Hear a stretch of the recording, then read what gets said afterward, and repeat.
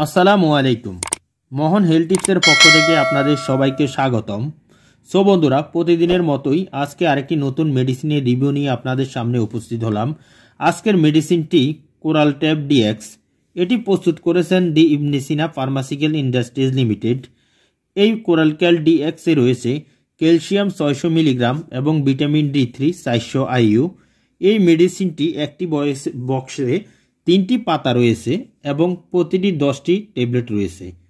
So বন্ধুরা, আজকে এই মেডিসিন সম্পর্কে বিস্তারিত আলোচনা করব।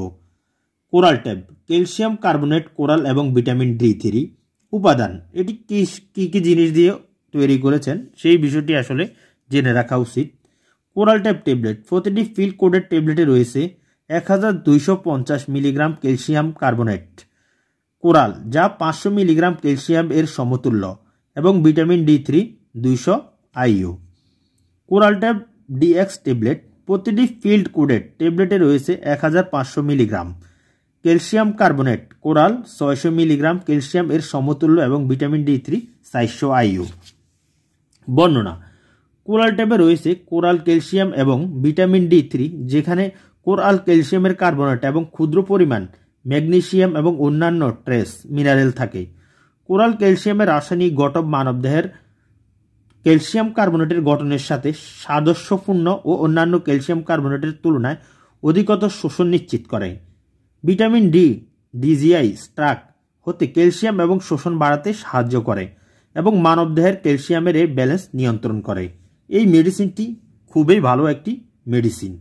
নির্দেশনা যাদের রক্তে ক্যালসিয়াম এবং মাত্রা কম থাকে এবং যাদের খাদ্যাভ্যাস থেকে ক্যালোরি, ক্যালসিয়াম এর অভাব পূরণ হয় না, তাদের চিকিৎসা এই প্রতিরোধে কোরাল ট্যাব নির্দেশিত।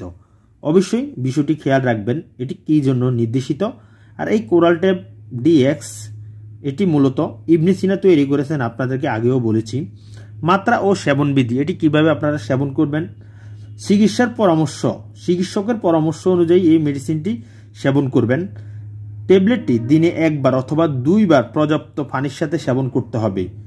তুলনামূলকভাবে ভালো শোষণের জন্য বড়া ফ্যাটে সেবন করা শ্যায় পঞ্চাশ বছরের অধিক বয়সী রোগীদের জন্য দুইটি করে ট্যাবলেট দিনে খাদ্যের সাথে সেবন করতে হবে। বিশেষ করে সেবন বিধিগুলো অবশ্যই খেয়াল রাখবেন। পার্শ্ব প্রতিক্রিয়া সব মেডিসিনের ক্ষেত্রে কিছু কিছু পার্শ্ব প্রতিক্রিয়া রয়েছে। এমন কোনো মেডিসিন নেই যে যেগুলোতে পার্শ্ব প্রতিক্রিয়া নেই।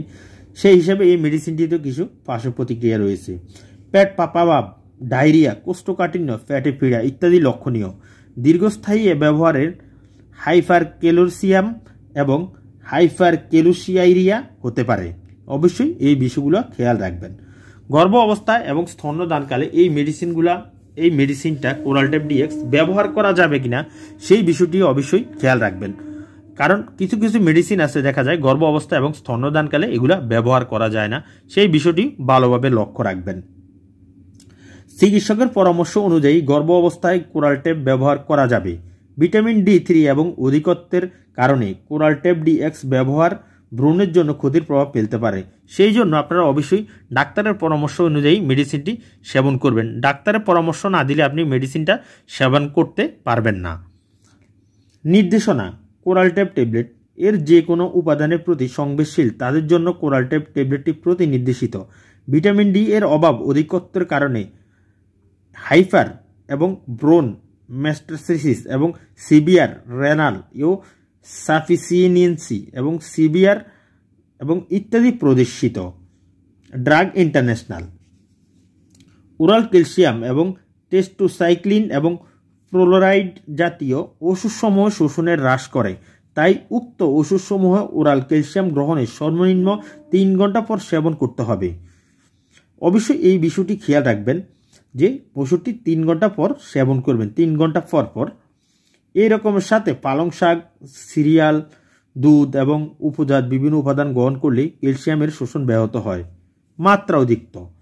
মাত্রা ইক্তর ফলে বমি বমি ভাব, বমি, গুম গুম ভাব, ক্ষুধামন্দা, পেট মোচড়ানো মাথা ব্যথা, কোষ্ঠকাঠিন্য জ্বালা পোড়া ইত্যাদি প্রতিক্রিয়া চিকিৎসার নির্ভর প্রতিক্রিয়া এবং পর্যাপ্ত পানি না গ্রহণের গ্রহণের কারণে দেখা যেতে পারে।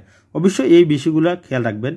যদি দেখা যায় মাথা ঘুরতে পারে আর আপনারা অধিক পরিমাণে পানি খাবেন, পানি যদি কম খান, তাহলে অনেক সমস্যা হওয়ার সম্ভাবনা থাকে। সংরক্ষণ।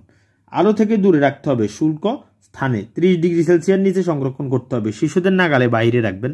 অবশ্যই শিশুরা যেন কোনোভাবে এই মেডিসিনটি খেতে না পারে, তাহলে শিশুদের অনেক বেশি সমস্যা হওয়ার সম্ভাবনা রয়েছে।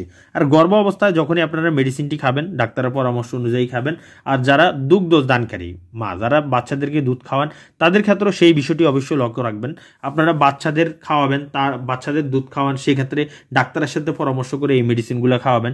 ডাক্তার যদি পরামর্শ দেয় যে আপনারা খেতে পারবেন, তাহলে খাবেন। আর ডাক্তার যদি পরামর্শ না দেয়, তাহলে আপনারা খেতে পারবেন আর খাওয়ার আগে অবশ্যই ডাক্তারের সাথে ভালোভাবে ভালোভাবে বুঝে শুনে এই মেডিসিনগুলো খাওয়ার চেষ্টা করবেন। সো বন্ধুরা, আজকের মতো এইটুকুই। সবাই ভালো থাকবেন, সুস্থ থাকবেন। নিত্য নৈমিত্তিক ভিডিও মেডিসিন ভিডিও পেতে আমার চ্যানেলটার সাথে থাকবেন, আমার চ্যানেলটা সাবস্ক্রাইব করবেন। এই ধরনের আরও ভিডিও পেতে। সো আসসালামু আলাইকুম। সবাই ভালো থাকবেন, সুস্থ থাকবেন। আল্লাহ হাফেজ।